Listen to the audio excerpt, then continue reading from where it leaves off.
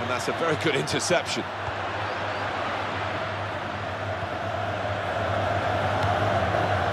On to Ronaldo. And it's back to him again. And Ronaldo, this could be a chance.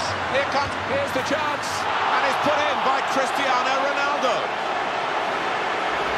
A goal from Cristiano Ronaldo. And the way he's hit this one. He flew off his boot to beat the keeper.